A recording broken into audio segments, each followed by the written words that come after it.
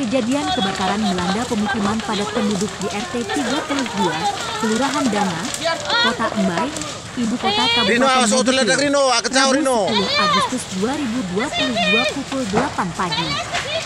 Sebanyak tiga unit rumah, toko dan rumah kosan serta satu unit kendaraan pick-up ludes dilalap si jago merah. Belum ada informasi pasti terkait penyebab kebakaran.